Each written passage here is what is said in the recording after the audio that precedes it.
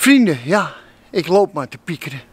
En ik breek mijn hoofd over waar we nu zitten met dat virus. Want die virologen, die waarschuwen nu al, straks half maart, dan komt er een piek van hier tot hinder lopen met de Britse variant van het virus. En we hebben natuurlijk nu een enorme wedstrijd tussen het virus en het vaccin. Dat is de grote wedstrijd. Wie gaat het winnen? Is het virus sneller of komt het vaccin net te laat of niet te laat of komt het net op tijd? Daar gaat het dus allemaal om. En daarom staan we nu op een kruispunt. Ja, en ik breek daar mijn hoofd over. Over het kruispunt, want het is die kant op of echt die kant op. En als je nu dus in het OMT zit, ja, weet je wel, dat orgaan waar het kabinet adviseert, in dat OMT, daar zitten ze ook zo met hun hoofd. Dat kan niet anders. Want zij staan ook op dat kruispunt. Zij moeten ook of links of rechtsaf. Zij moeten ook constant maar die afweging maken. En de afweging is op dit moment tussen die kant op linksaf. Dan is het dus moeten we weer de Nederlander aanspreken op zijn verantwoordelijkheid. Gaan we dat doen, ja of nee?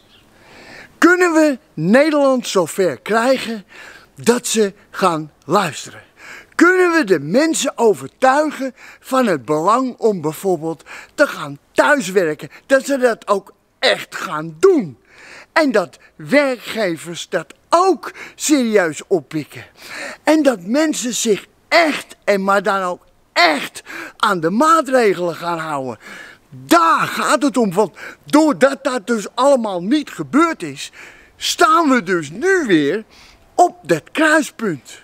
Kun je mensen zover krijgen? Dat is de grote vraag als je in het OMT zit. En als je dat denkt, ik kan de mensen wel zover krijgen, nou dan ga je fine-tunen.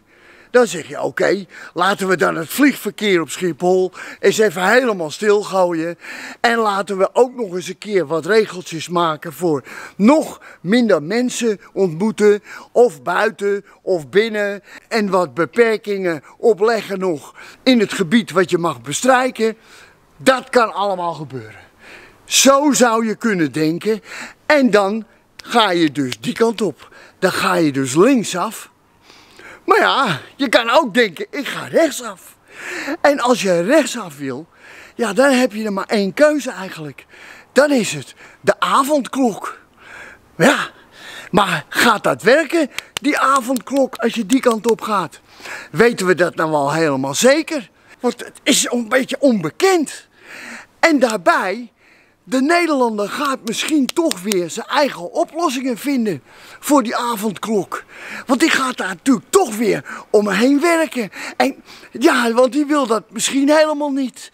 En de politie, die weet ook niet precies wat ze daarmee aan moeten met handhaving.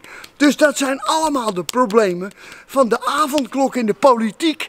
Die wil het eigenlijk ook niet, ja, want de verkiezingen komen eraan. Jongen, jongen, jongen, jongen.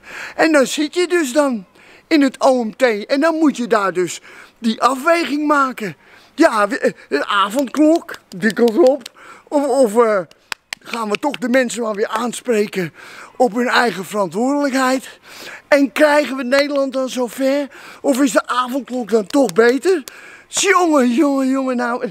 En daar breek ik dus mijn hoofd over. Dat is dus gewoon wat wij noemen een duivels dilemma.